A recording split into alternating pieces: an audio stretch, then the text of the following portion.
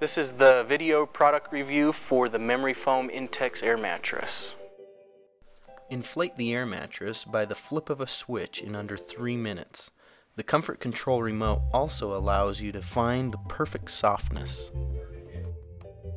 The Memory Foam Air Mattress takes fitted sheets just like the other air beds. The middle of the air mattress has an indentation so the fitted sheets uh, hold tight to the airbed. The velvet sides keep the, air, the sheets from sliding around. Having the 1 inch memory foam topper makes a big comfort difference.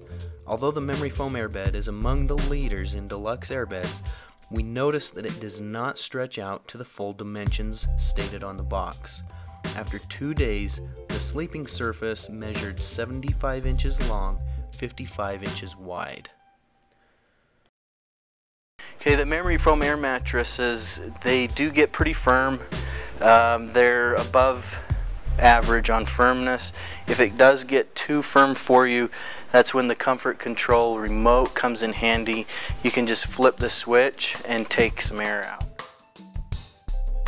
This has been a video review on the Memory Foam Air Mattress.